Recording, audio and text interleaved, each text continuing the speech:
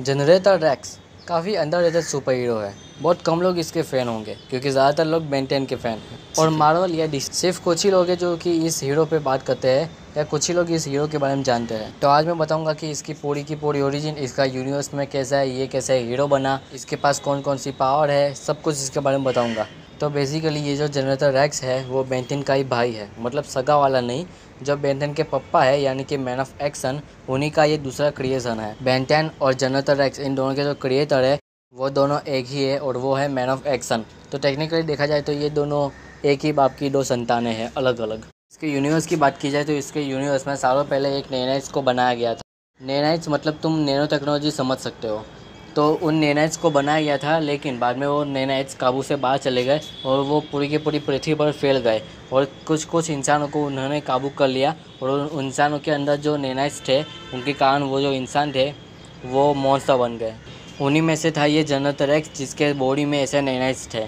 लेकिन जहाँ दूसरे इंसानों को ये नेनेट्स कंट्रोल करते थे, वहीं पर ये जो एक्स है, उसने अपने अंदर ये नेनेट्स को समझा, उन्हें जाना और उन्हें कंट्रोल करना सीख लिया।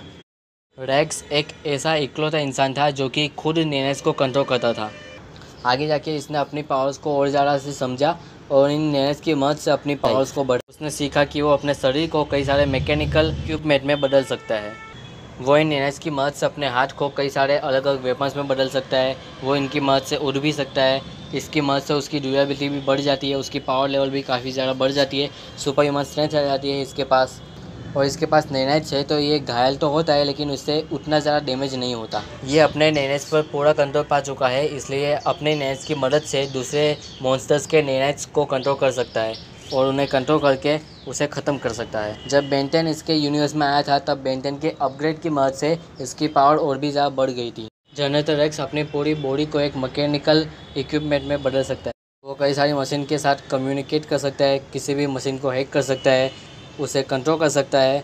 और अगर टेक्निकली देखा जाए तो हम इसे आधा साइबोर्ग या आधा मशीन कह सकते हैं। लेकिन अब बात करते हैं इसके वीकनेस के बारे में। तो इसकी वीकनेस भी इसकी पावर है। मतलब इसकी पावर ही इसकी वीकनेस है। इसने नेनाइस को कंट्रोल तो कर लिया है, लेकिन वो नेनाइस कभी कभी इसके बॉडी को कंट्रोल करने की कोशिश करते हैं। अगर किसी दिन ऐसा हो कि वो नेनाइट्स इसे कंट्रोल करने में कामयाब हो जाए तो जनरेटर रेक्स भी एक मॉन्स्टर बन जाएगा। तो बस यही थी जनरेटर रेक्स की पूरी की पूरी ओरिजिन कैसी लगी, अच्छी लगी हो तो लाइक कर सकते हो, जो कि मैं कह चुका हूँ। और अगर चाहो तो सब्सक्राइब भी कर सकते हो। ठीक है, मिलता हूँ अगले वीडियो में किसी नए टॉपिक के साथ इसी यूनिवर्स में। तब तक के लिए बाय बाय